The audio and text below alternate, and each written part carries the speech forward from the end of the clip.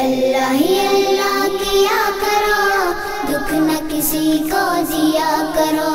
जो दुनिया का मालिक है, नाम उसी का जिया करो।